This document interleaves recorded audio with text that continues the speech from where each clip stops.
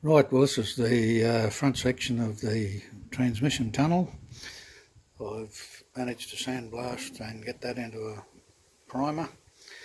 Turned out pretty well, uh, not too much uh, pitting or rust anywhere.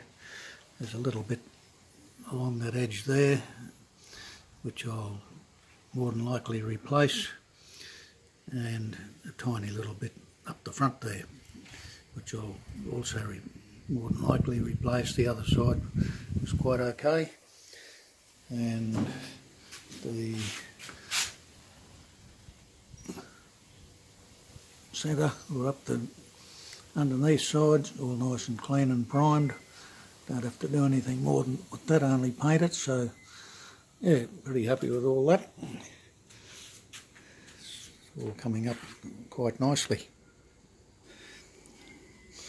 This is the rear section.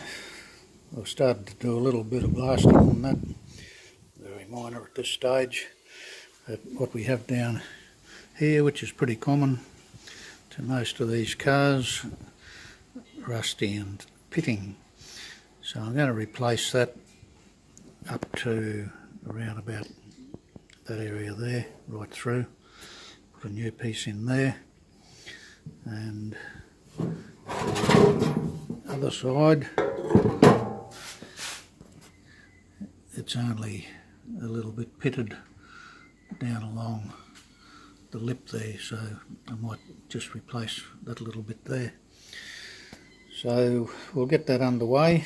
I've started to make up the piece for the other side. So I'll get that cut out and tacked in and show you what we end up with there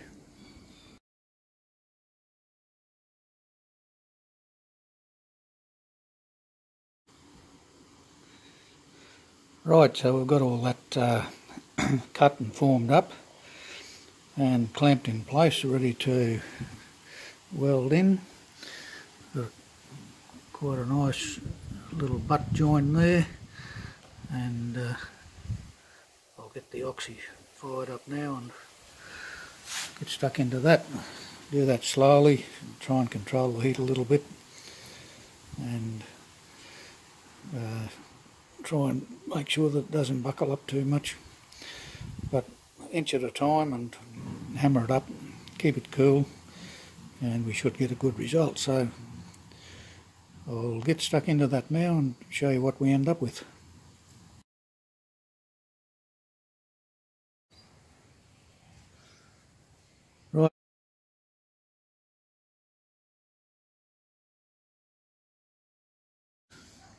one little part I've got to uh, do yet. I've got to sandblast these little bits up and and tack them on.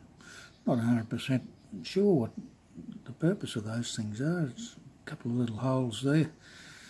The uh, the only thing I can think of is if the car fills up full of water, it will let the water out. But yeah,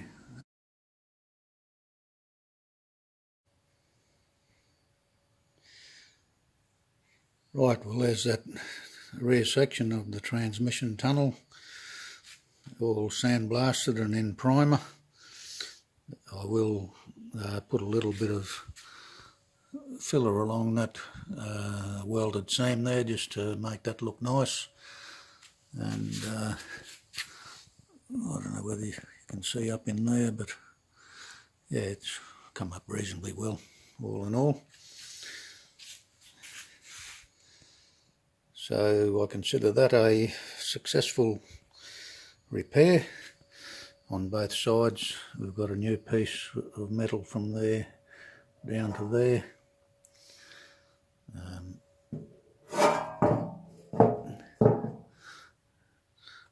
put those little things back, don't know what they're all about, but anyway, they're back. Uh, I might just grind those tack welds off there. I didn't do the little spot welds. And uh, I might even put a little bit of uh, filler along there just to tidy that up. But anyway 90 percent there. And uh, managed to turn that into something worthwhile